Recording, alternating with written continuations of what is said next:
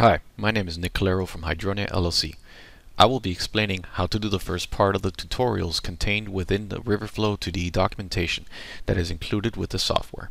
We'll start by opening up QGIS from our desktop or Start menu shortcut.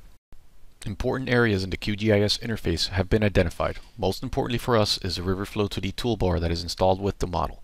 If you do not see the Riverflow 2D toolbar icons, please go to the Plugins menu and select Manage and Install Plugins. Search for the plugin by typing out River and it should appear in the list. You simply select the checkbox and click Install Plugin and then close the window. To create a new Riverflow 2D project, click on the New Riverflow 2D Project button in the toolbar.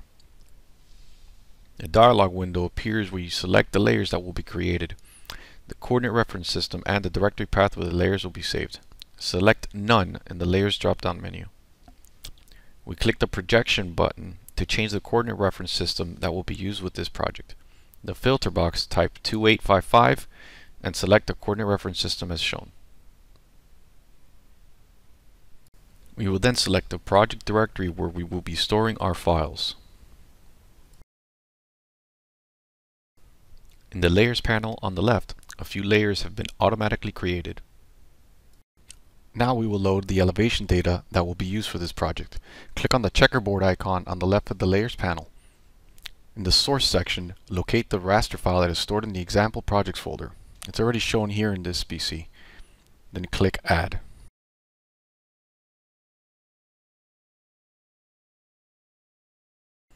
In the Layers panel, you will see a new layer named HOH-DEM2.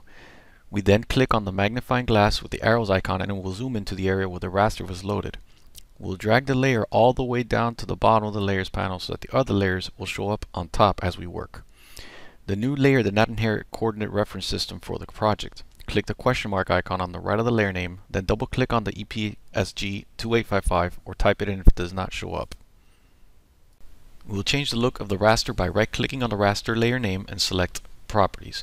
We apply the Hillshade render type and click Apply.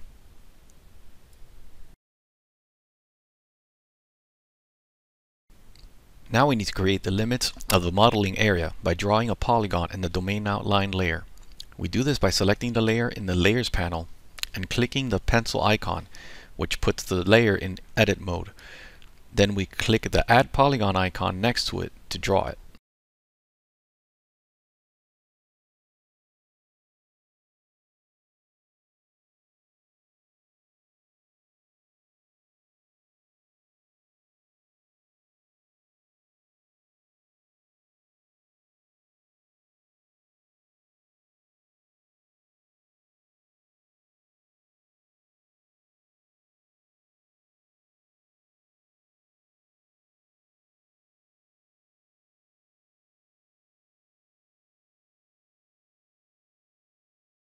When the polygon is ready, we right-click to close it. A cell size dialog appears. We enter the size in meters. For this example, it will be set to 20 meters.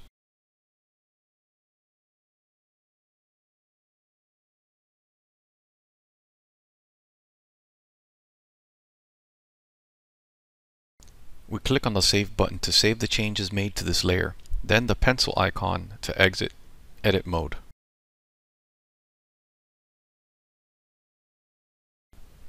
Now we generate the tri-mesh by clicking the Generate Tri-Mesh button on the Riverflow 2D plugins panel.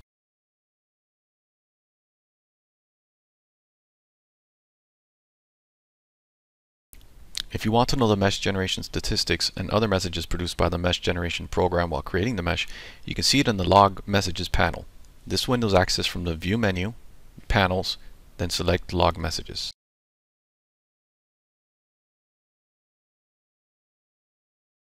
Now we define the inflow boundary conditions. Select the boundary conditions layer in the Layers panel. Click the Toggle Editing button to add the polygons that are going to indicate the nodes on which the inflow and outflow conditions are established.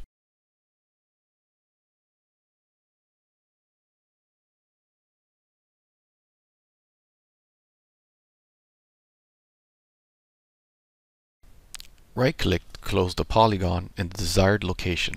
A window to enter the attributes of the newly created polygon is displayed. Type inflow in the boundary condition ID text box. In the type of open boundary, select the second option, discharge versus time, and using the Import BC File button, search for the qin.dat hydrograph file. Click on the BC Data tab to check that the file was loaded correctly.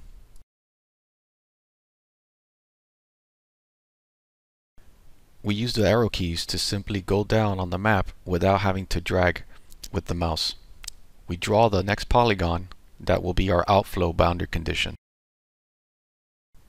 This time we type outflow as the boundary condition ID, then select uniform flow condition as our type of open boundary then enter a value of 0.03 for the SO field, which is the slope.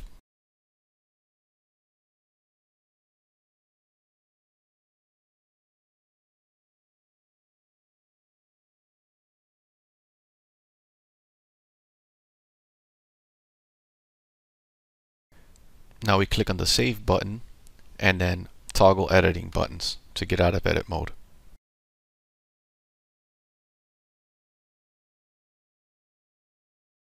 To assign Manning's n values, we will enter polygons with particular ends. There can be as many polygons as those required to reproduce the spatial variability of this parameter. In this example, a single polygon will be drawn for the entire area. Select the Manning's n layer and click the Toggle Editing button. Draw the polygon around the entire domain, taking care that it covers all of the cells.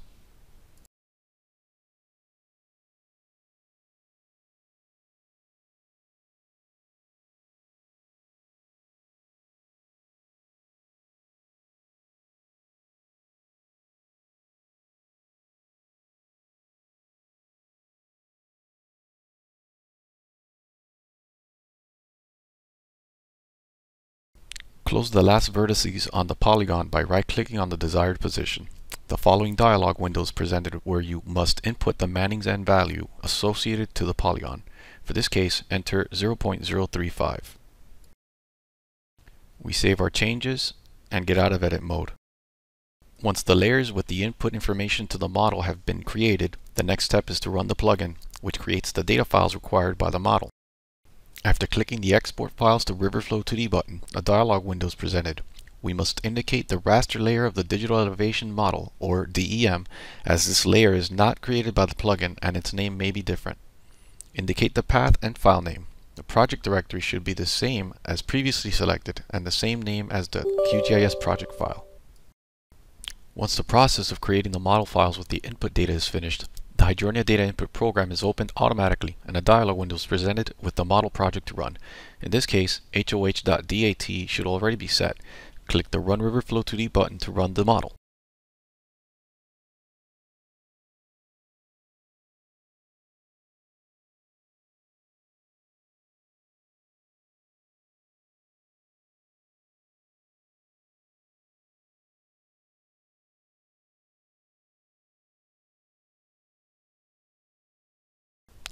Take some time to explore the information included in this window. This concludes the tutorial. Thank you for watching.